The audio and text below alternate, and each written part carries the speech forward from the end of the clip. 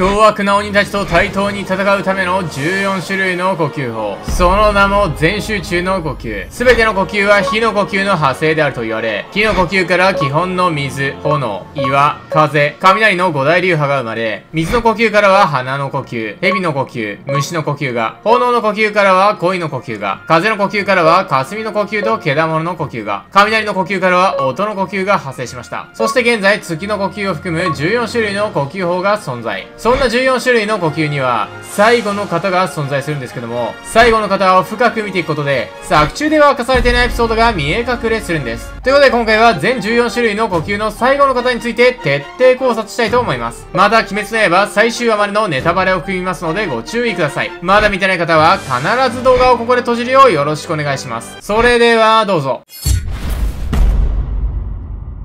多くの流派の基礎となっている五大流派の呼吸の一つ、水の呼吸。炎の呼吸に並んで歴史が古く、いつの時代にも水柱と円柱は必ず存在しています。呼吸音はヒュー。対応する日輪との色は青色。作中に登場する水の呼吸の主な使い手は6人で、かまど炭治郎、富岡義勇、鱗滝左近寺、村田、サビト、マコモ。中でも現水柱の富岡義勇は最も熟練した水の呼吸の使い手なんです。そんな水の呼吸はその名の通り、水のように変幻自在な方法が特徴で、いかなる敵にも対対応することが可能。さらに、鱗滝によると、技が剣術の基本に沿ったものなので、初心者にも扱いやすく、最も使用者が多い呼吸でもあると解説されています。そのためですね、水の呼吸からは、蛇の呼吸や鼻の呼吸など、多くの流派が派生しているんです。そんな水の呼吸の技の一覧はこんな感じなんですけども、11の方、ナギは義勇が生み出した義勇だけの技。このナギはですね、義勇の前に入った全ての攻撃を、目にも止まらぬ高速の斬撃でなぎ払い無効化する方なんです。では、なぜ義勇はナギを編み出したのか。その理由は義勇がずっと守られてきた人間だったから。正確に言うと、守られてきた人間から守る側の人間になるためだったんです。実は義勇は過去2度命を救われています。1回目は第131話で明かされた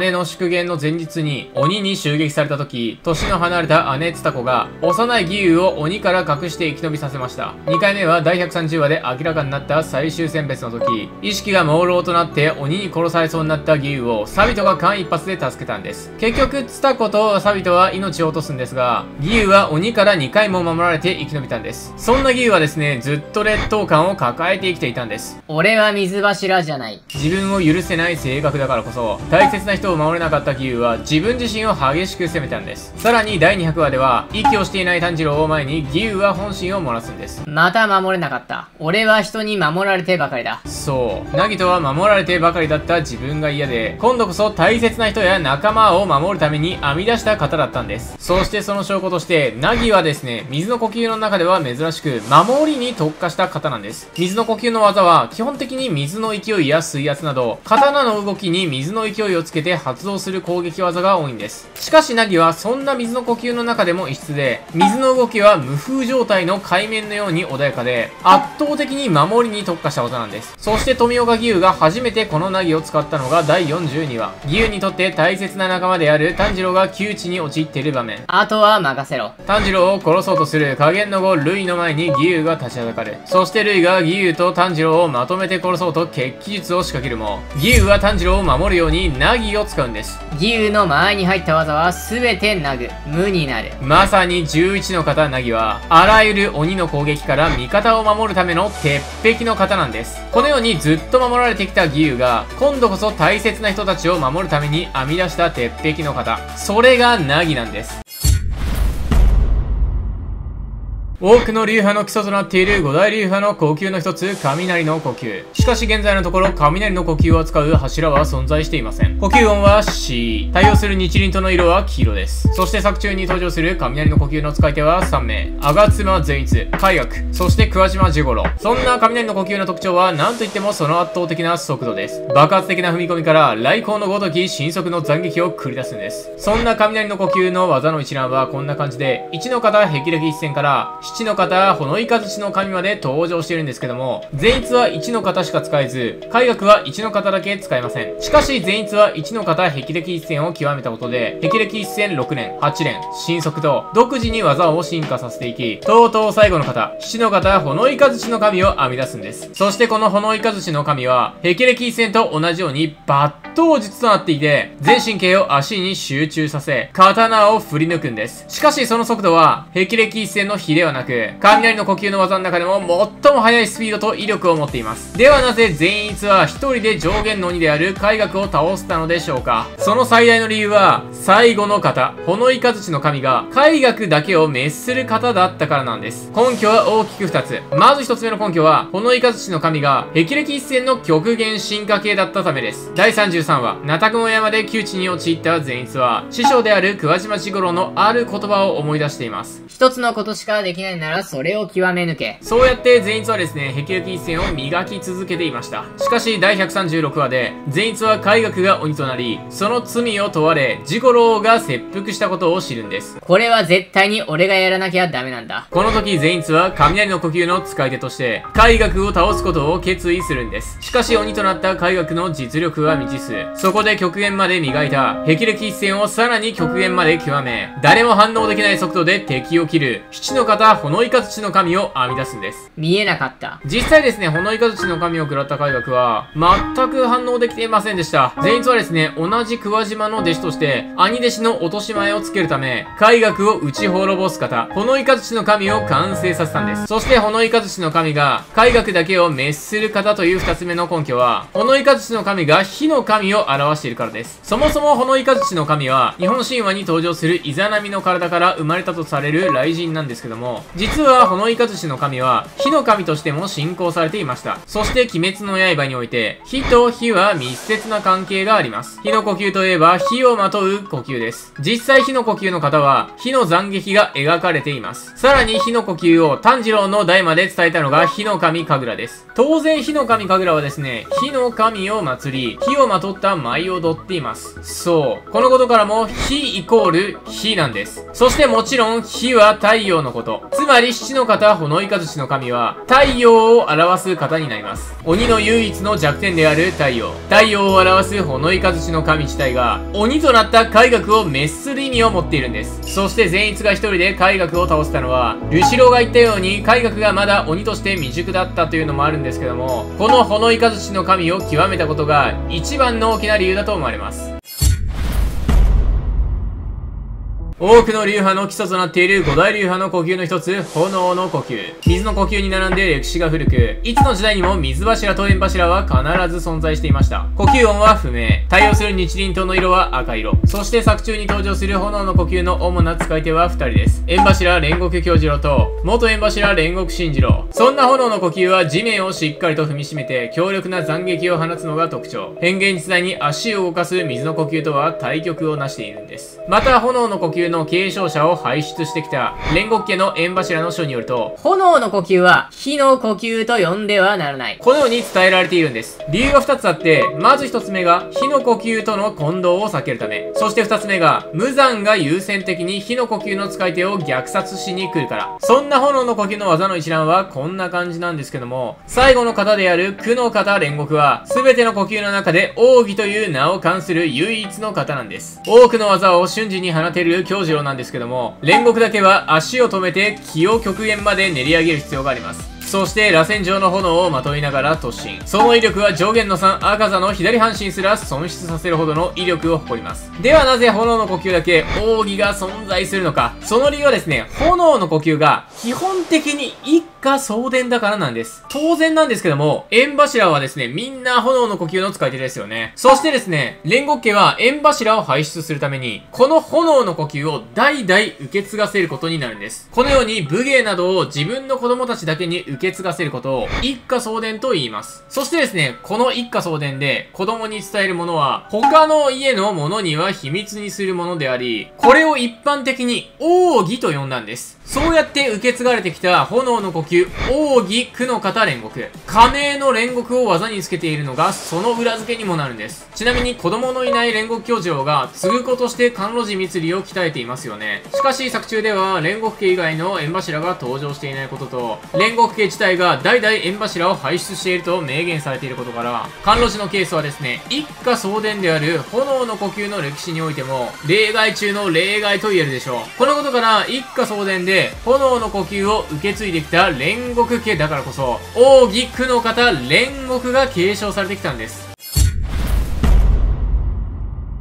多くの流派の基礎になっている五大流派の呼吸の一つ、風の呼吸。呼吸音はシーヤー。対応する日輪との色は緑色です。作中に登場する使い手は2人で、風柱、品津川さねみ、そして久米野正親。ちなみにですね、久米野はですね、本編ではほぼ活躍シーンはありませんでしたが、小説版の風の道しるべによると、風の呼吸の使い手ということが判明しています。そんな風の呼吸は、暴風のように荒々しい動きから、かまいたちのように切り刻むのが特徴です。炎の呼吸と同じく、攻撃に特化した呼吸なんですけども、炎の呼吸よりも範囲と速度に優れています。そんな風の呼吸の方の一覧はこんな感じなんですが、最後の方、伊田天台風は、空中から地上に向けて振り下ろす、大小様々な風の斬撃を放つ方なんです。そんな苦の方、伊田天台風をサネミが使ったのは、物語もかなりの終盤、第199話。ではなぜサネミは最後の最後まで伊田天台風を使わなかったのか。その理由は、苦の方、伊田天台風自体が、最大の宿敵、鬼物寺無惨への皮肉と憎しみを込めた方だったからなんです。根拠は大きく2つあります。まず1つ目は、伊田天の意味。この伊田天というのは、仏教において戦の神の意味を持つ軍神とされていて、今では足の速い人を指す代名詞にもなっています。しかし実はですね、赤子や子供の病魔を除く神とも言われています。つまりですね、伊田天とは、赤子や子供を助けるという意味を持っているんです。そして第199話を思い返してみてください。追い詰められた鬼物寺無惨は、日光から避難するために肉の鎧をまとい、赤子の姿となります。しかしそこでサネミが使ったのが、苦の方、伊田天台風。本来は赤子を助けるための伊田天台風を、赤子の姿に戻った無惨に、皮肉たっぷりに攻撃として使ってるんです。次に二つ目の理由、無惨を滅ぼすまでもう少しの場面だったから。伊田天台風とはですね、進路を変えずまっすぐ速い速度で移動する台風のことですよね。つまりですね、まっすぐに高速移動するという意味があるんです。そして第199話では、隠したちが無残に殺されそうになってしまいます。しぶてんだよ、クソが。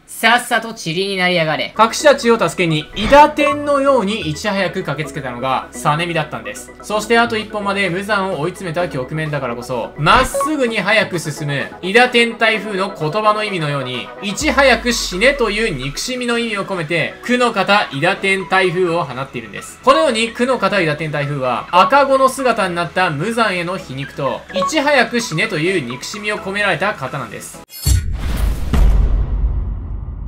多くの流派の基礎となっている五大流派の呼吸の一つ、岩の呼吸。ちなみに流派として堅実に完成されていることからか、作中には岩の呼吸から派生した流派は登場していません。呼吸音はゴウゴウゴン。対応する日輪との色は灰色です。作中に登場する使い手はただ一人で、岩柱姫島行名。そんな岩の呼吸はですね、その名の通り、岩のように硬い防御が最大の特徴なんです。そして足さばきや体さばきによって、技の威力を上げる他の呼吸とは違い、筋力に物を言わせた、まさにパワーーでゴリ押す戦法を得意としています。またですね、弱点の少ない呼吸とも言われているんですけども、その分ですね、使い手には圧倒的なパワーがいることが前提。事実、柱の腕相撲ランキングでは、姫島が圧倒的な1位でした。そんな今の呼吸の方の一覧はこんな感じなんですけども、最後の方、ガリン業部は公式ファンブックによると、姫島が使う特殊な日輪と勢いよく振り下ろし、武器の重さと反動を利用し、威力を高めた技と説明されています。現柱の中でも最強と言われる姫島の最後の方だけあって、その威力は凄まじく、首を落とした上限のうち国志望を追い詰めるほどなんです。そんな岩の呼吸はですね、岩を連想させる方の名前が多いんですけども、このガリン行部だけは異質。ではなぜ姫島行名は最後の方を岩とは関係ないガリン行部という名にしたのでしょうかその理由は鬼に裁きを与えるという思いを込めた方だから。根拠は大きく2つあります。まず1つ目は、ガリン行部の言葉の意味。ガリン行部はガリンと行部に分けて解説できます。まず正確に言うと、ガリンとは日本語ではありません。でもですね、似た言葉で、わちがい瓦という言葉があります。このわちがい瓦は、4つの瓦を組み合わせて、円などの模様を表す瓦のことを言います。そして興味深いのは、このわちがい瓦の先端に、鬼の面、つまり鬼瓦が装飾されるんです。このことからガリンはですね、鬼を表しているとも受け取れます。次に行部は、古代中国の主要行政機関の一つで、司法に関することを管轄する部署のことです。今で言うと裁判所みたいなものですね。よってですね、行部とはですね、裁きを与えるという意味を持っているんです。鬼を表すガリンと裁きを与えるという意味を持つ行部。つまり、ガリン行部とは、鬼に裁きを与える技なんです。んです次に二つ目に、独特な日輪刀の形が全て拷問や死刑執行の器具を表しているからです。姫島が扱う特殊な日輪刀は、手斧とトゲ付きの鉄球と鎖で構成されていますよね。実はこの3つの武器、すべて拷問や処刑器具なんです。手斧は犯罪者の手足や首を切り落とすのに使われていました。特に18世紀にギロチンが発明されるまでは、イギリスなどではこの手斧を使って斬首を行っていたんです。そしてトゲ付きの鉄球も、拷問などでよく使われていました。特に13世紀頃のドイツでは、モーニングスターという武器が使われ、罪人に対して鞭打ちをするように使っていたんです。当然なんですけども、肉はえぐれ、罪人たちは苦痛の叫び声を上げて死んでいくんです。そして鎖は全世界で最も使われている処刑器具。罪人を吊るしたり拘束したりするのに使われます。つまり、姫島が扱う武器は、罪人を殺す武器なんです。そして、鬼殺隊にとっての罪人は、もちろん鬼。このように、5の方ガリン行部は、鬼鬼という罪人を裁く方という意味を込めて名付けられたんです。五大流派の一つ、水の呼吸から派生した呼吸法、鼻の呼吸。呼吸音は風。対応する日輪との色は桜色。作中に登場する鼻の呼吸の使い手は二人で、胡蝶かなえとつゆりかなおです。そんな鼻の呼吸はですね、すべての型に鼻の名前が入っているのが特徴で、型によって斬撃のエフェクトの色が違ってくるんです。例えばですね、6の型、渦桃なら、斬撃の色は桃を表すピンク色の斬撃になります。またですね、鼻の呼吸は、見た目の美しい剣技とは裏腹に、習得にはかなりの身体能力と強い肺活量が必要なのも特徴。そんな鼻の呼吸の方の一覧はこんな感じなんですけども、最後の方、悲願主眼は、つゆりかなおだけが使える技なんです。この悲願主眼は、全集中の呼吸で、血流を眼球に一点集中させる技で、動体視力を極限まで上げて、周囲の動きを遅く見えるようにできる。そしてこの悲願主眼は、眼球への負荷がかなり高く、その圧力は、白目の部分が出血し赤く染まってしまうほど。つまり失明の危険性を伴う技。そんな悲観主眼なんですけども、なぜ最後の方が他の呼吸のように数字ではなく、対の型なんでしょうか？まず一つ目の理由は、悲願主眼が一度使ったら終わりの型だから。その根拠は大きく2つ。まず1つ目の理由は、悲願主眼は視力を引き換えに金尾にしか打てない方だから。先ほども言ったようにですね、悲願主眼は眼球が出血し赤く染まるほどの負荷をかける方で、そもそも動体視力を鍛え抜いたカナオにしか使えませんよね。そして第163話です。カナオの動体視力が鍛えられた悲しい理由が明かされています。動きをよく見てないと、悪いところに当たって死ぬ。幼少期から両親に虐待され続けてきたカナオが、急所を外し自分の命を守るために編み出したたった一つの武器。それが動体視力だったんです。そんなカナオですら、この悲願主眼はですね、自分の動体視力と引き換えに放つ方。つまり視力を失うことを前提としている方なんで、そもそも生涯に1回しか使うことを想定してないんです。だから一度使ったら終わりの型。対の方なんです。ちなみにカノは第202話で2度目の悲願主眼を使っているんですけども、これはたまたま左目の視力が残っていたからです。そして、対の型と呼ばれる2つ目の理由。それは彼岸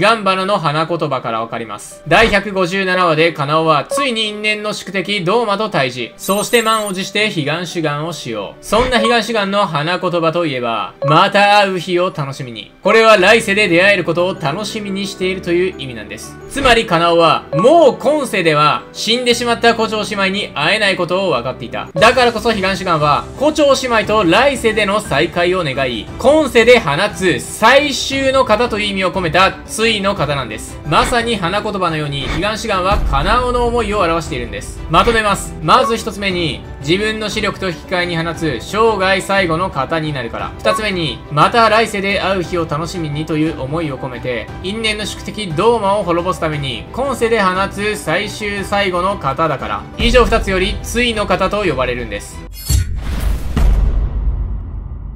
水の呼吸の派生である鼻の呼吸からさらに派生した呼吸法虫の呼吸。呼吸音は不明。対応する日輪との色は藤色です。作中に登場する使い手はですね今のところ胡蝶忍ぶのみ。そんな虫の呼吸は他の呼吸に比べるとかなり異色な性質を持っています。それが鬼の首を落とすことを想定していないこと。その代わりですねなんと毒で鬼を殺すんです。日輪刀に鬼に有効な藤の花の毒を仕込み。鬼の体内にその毒を注入し毒殺をを目的としているのが虫の呼吸なんです。また他の呼吸とは違い、技の名前も型ではなく、舞と名付けられているのもポイント。そんな虫の呼吸の舞の一覧はこんな感じなんですけども、どの舞にも全て虫の名前が入っているんです。そして最後の舞は、五行の舞、百足蛇腹。五行の舞百足蛇腹は地面をえぐるほど力強く踏み込み、ムカデのようにうねる動きで相手をか乱し突き刺すんです。その速度は上下のにどう守ってしても目で追い切れないほど。ではなぜ忍はドーマ戦の最後に五行の前百足蛇腹を使ったのでしょうか？その理由はムカデの毒は激痛が走るからです。第50話、炭治郎に怒っている匂いがすると指摘された忍。そう、忍はずっとずっと鬼に対して怒っていたんです。特に最愛の姉、かなえを殺して食った張本人。ドーマに対しては並々ならぬ怒りを持っていた。その怒りを持って忍が放った五行の前百足蛇腹なんです。ちなみに五行も百足も同じムカデの意味を持っています。そしてですね、ここからは考察なんですが、実際にムカデに噛まれた人たちは口を揃えてこう言います。焼けるような激しい痛み。人によってはですね、同じ猛毒を持つスズメバチやイラガよりも痛いと感じる模様。もちろんですね、忍が調合した百足ジャバラは、その毒性も痛みもさらに強力にしていたと思われます。つまり、ドーマへの怒りから、忍は自分たちが味わった痛みを少しでも思い知らせるために、最も激痛を伴うムカデの毒を選んだんです。憎しみのたっぷり染み込んだ猛毒。それが五行の舞百足ジャバルだった。五大流派の一つ、炎の呼吸から派生した呼吸法、恋の呼吸。呼吸音は不明。対応する日輪との色は桃色です。作中に登場する使い手は一人で、恋柱、甘露寺蜜里。そんな恋の呼吸は、猫のようなアクロバティックな動きから予測不能な斬撃を繰り出す、甘露寺蜜里独自の呼吸法なんです。その元気は、元忍びの渦井天元よりも速く、あまりの速度に目で追えないほど。ちなみにですね、煉獄教授郎外伝で語られているように、この恋の呼吸の原動力は、恋心を燃やすことです。です。ドキドキが止まらないの。燃えるような恋心を剣に。棒切れを片手に母を守る少年の姿にキュンキュンしたみつりは、その燃えるような恋心を素直に剣に乗せることができるようになりました。まさに心を燃やすことが重要だった炎の呼吸と通じる呼吸なんです。そんな恋の呼吸の型の一覧はこんな感じなんですけども、最後の型、猫足恋風は、螺旋状に突風のような斬撃を繰り出し、襲ってくる敵の攻撃を切る技なんです。恋の呼吸なので、で片目に恋がつくのはわかるんですけども、なぜ3の型、恋猫しぐれと、6の型、猫足恋風だけ、猫がついてるのでしょうか？その理由は、2つとも防御技だから。まず、三りといえば、大の猫好きとして知られていますよね。つまりですね、甘露寺三りは、猫好きなの、で、猫を守っていると言い換えることができます。そして第122話で放った恋猫しぐれと、そして第123話で放った猫足恋風の共通点は、共に敵の攻撃や術を切る防御技として使われているんです。そしてこの時、三りの後ろには炭治郎や玄也たち、守るべき存在がいました。三りにとって猫の他にもう一つ大好きな存在。それが鬼殺隊の仲間たちなんです。つまり、甘露寺光は猫を守るように、鬼殺隊を守りたかった。だから猫を型につけたんです。仲間は絶対に死なせないから。鬼殺隊は私の大切な居場所なんだから。猫を守っている甘露寺光は、大好きな仲間たちも守るために、防御特化の方の名前に自分の大好きな猫をつけたんです。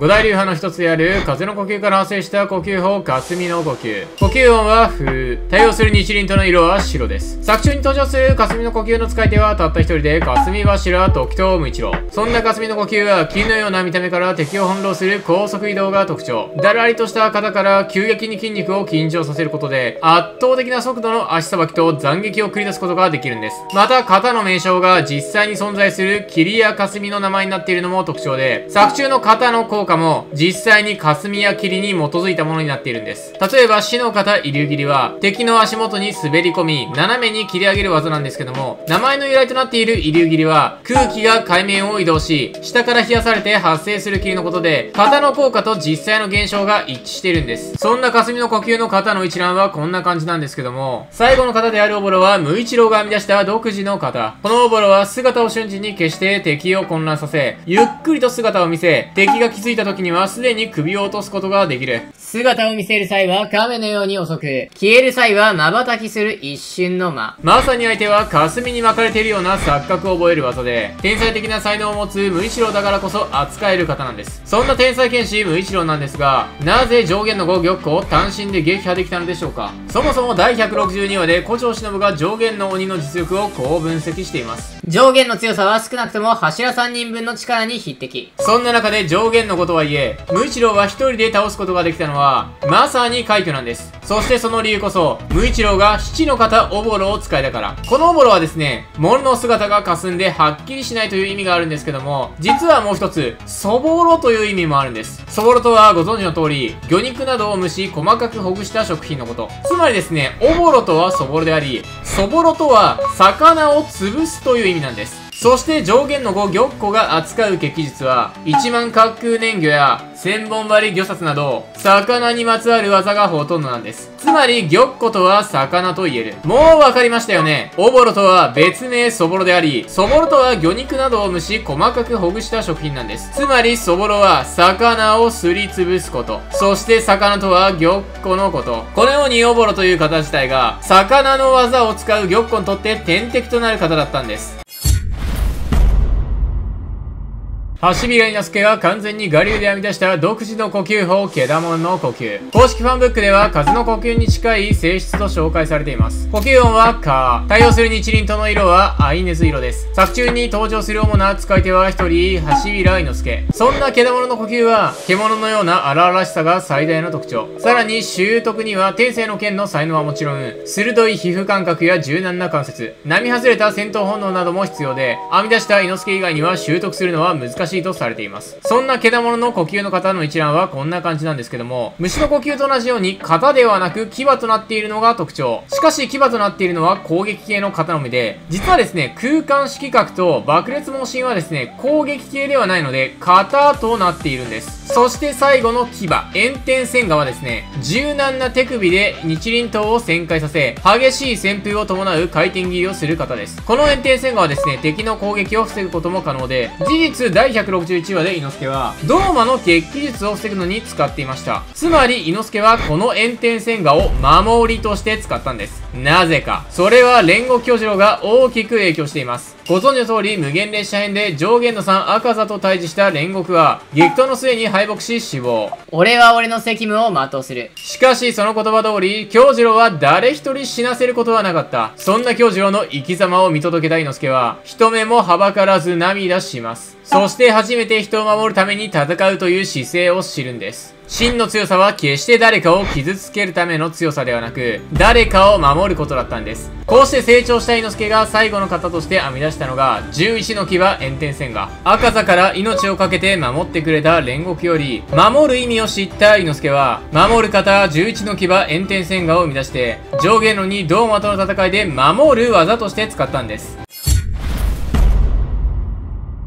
火の呼吸から次国道勝が派生させた独自の呼吸法、月の呼吸。呼吸音は法。対応する日輪との色は紫色です。もちろん、使い手はたった一人。12気づき最強の上限のうち国志望。そんな月の呼吸最大の特徴は、不規則に変化する三日月状の斬撃です。たとえ国志望の斬撃を避けたとしても、三日月の斬撃もかわさないと致命傷を負ってしまうんです。実際ですね、時藤無一郎は国志望との激闘で、間合いを見切れずに片腕を失っています。さらにですね、月のの呼吸の方は広範囲の技が多く、その威力もまた凶悪な破壊力を誇ります。そんな月の呼吸の技の一覧はこんな感じなんですけども、最後の16の方、月光片割れ月は、複数の敵の位置を正確に狙い、上から地面をうがつほどの凄まじい斬撃を浴びせる方なんです。攻撃範囲、破壊力、そして正確性、全てにおいて作中最高峰の技です。このように数々の呼吸法の中でも最も型の数が多い月の呼吸なんですけども、なぜ月の呼吸の最後の型が16の型なのでしょうか？その理由は、16の型が、いざよいを意味している方なんです。いざよいとは、旧暦において15夜の次の日、つまり月が欠け始める夜のことを意味します。そしてですね、月の満ち欠けを順番に説明すると、月が全て影になっている新月の夜から、毎晩ですね、月が光り輝く部分がだんだんと増えていきますよね。新月、三日月、上限の月、小持月と月が満ちていくんです。そして15日目の月は、全面が光り輝いて、完全な円となります。この15日目の月こそが満月なんです。しかし16日目の月からはだんだん光る部分が欠けて影の部分が増えていく。そしてこの満月の丸は太陽の丸と同じく鬼滅のテーマの一つでもある円環を表しています。第176話で国志望はこう言っています。より一、お前になりたかったのだ。そしてより一に憧れて月の呼吸を16の型まで生み出したんですけども、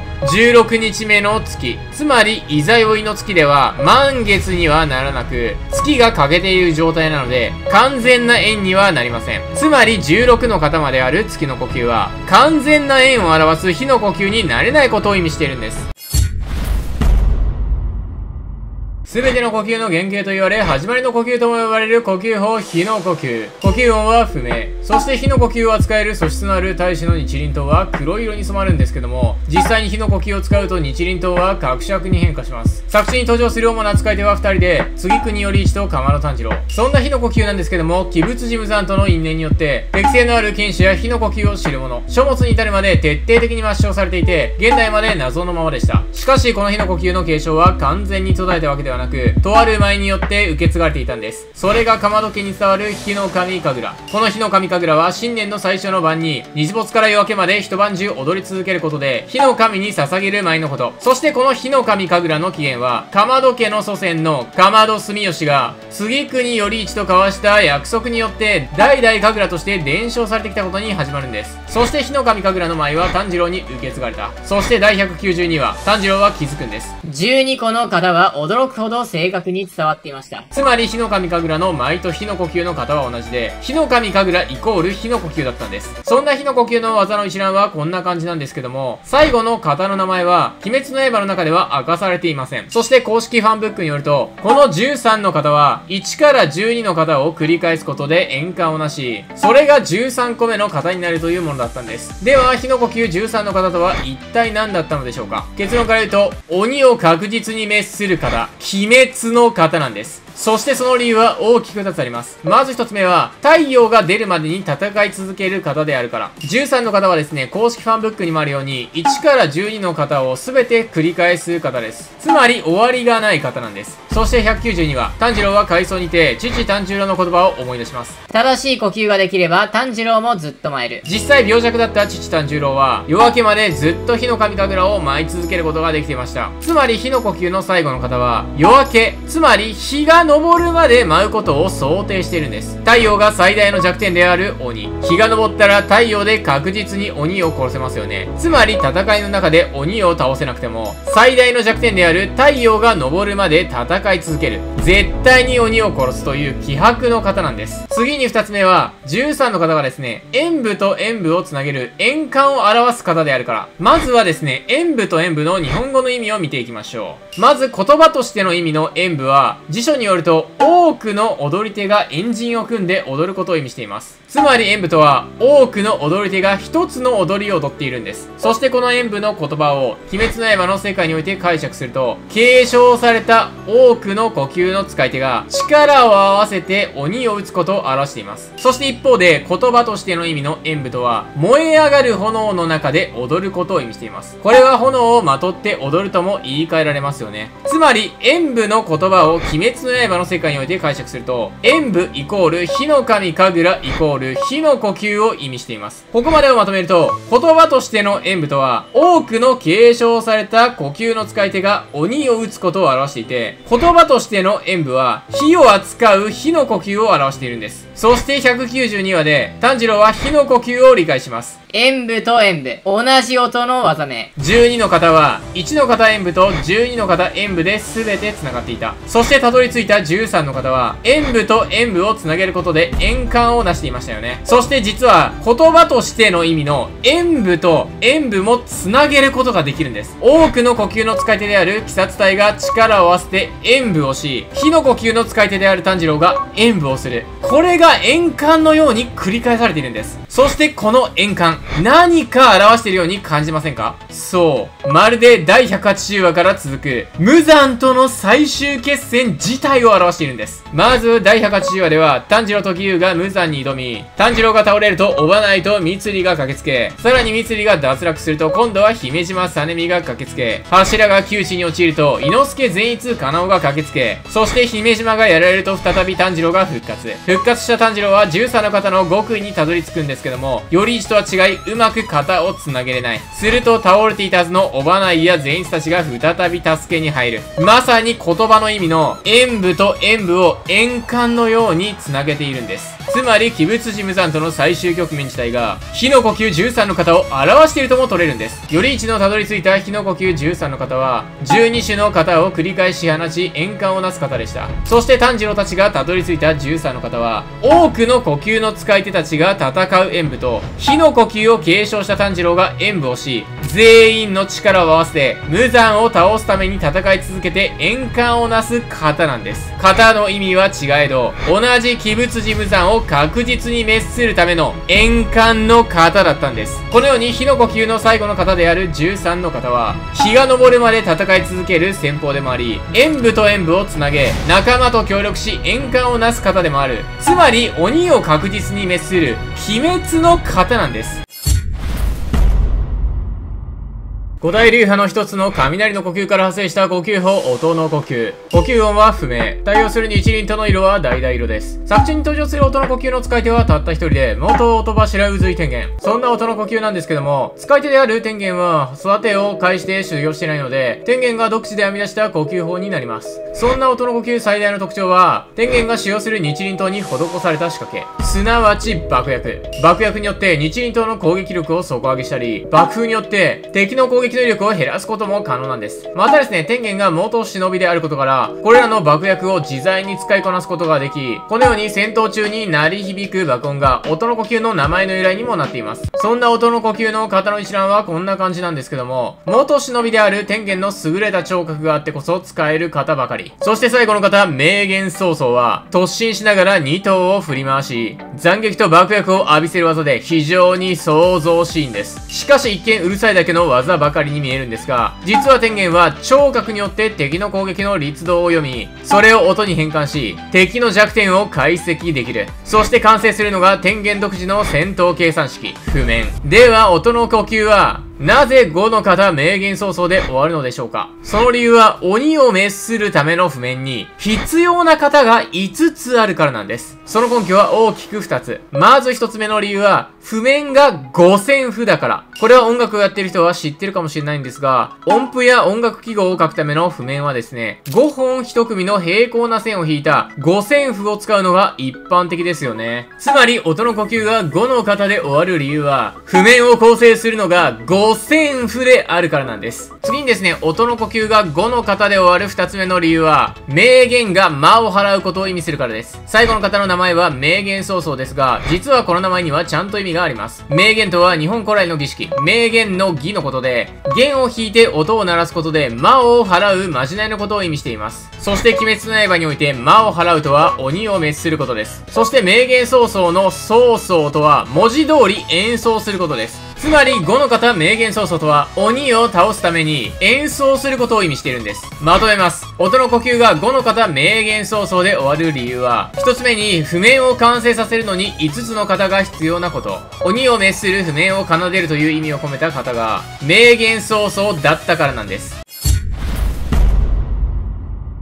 五大流派の一つ、水の呼吸から派生した呼吸法、蛇の呼吸。呼吸音は不明。対応する日輪との色は青紫色です。作中に登場する主な使い手はヘビ柱イーグルオーバナイ。そしてヘビの呼吸はその名の通り、ヘビのようなありえない曲がり方をする変幻自在の斬撃を放つのが最大の特徴。またですね、ヘビの呼吸の使い手であるイーグルはですね、柱の中でも特に小柄。その特徴を活かし、イーグルは狭いところをすり抜けるうねる一撃を生み出しているんです。そんなヘビの呼吸の型の一覧はこんな感じなんですけども、最後の方、延々長打は蛇行しながら広範囲の敵をすれ違いざまに切りつける方。ちなみに延々長打とは、うねうねと長く続いているものを指す4文字事故です。そしてですね、実は5の方延々長打は、イグロが初めて使った技でもあるんです。それは第140話、無限城にて雑魚鬼を一周するのに使用。結局ですね、一度しか使わなかったんですが、敵の間をすり抜けながら、移動と斬撃を同時にこなす、まさに蛇の呼吸を体現したような技なんです。ではなぜ5の方延々長打は、第140話でしか使わなかったのでしょうかその答えは、イグロ自身が語っています。甘露寺に近づくな。クズども。泣き目の決起術によって無限城に落とされたイグローバナイは甘露寺光と合流します。しかし無限城は鬼物事務山の本拠地だけあって雑魚鬼といえども加減の鬼レベルの鬼たちが救っていたんです。さらに城内はとても入り組み、柱とはいえ囲まれたら手間取る場面だった。そんな中イグロが放ったのが広範囲の敵を蛇行しながらすれ違いざまに切りつける延々長だ。狭い隙間をすり抜ける斬撃を得意とする蛇の呼吸と大切な甘露寺密に群がる大量の雑魚鬼たちを一掃するうねうねと長く続く斬撃。その集大成のような方である永遠長打が最適だったんです。という感じでですね、全16種類の呼吸の最後の型の秘話について考察してきたんですけども、皆さんはどう思いますでしょうか？ぜひともコメント欄に記載してもらえればなと思います。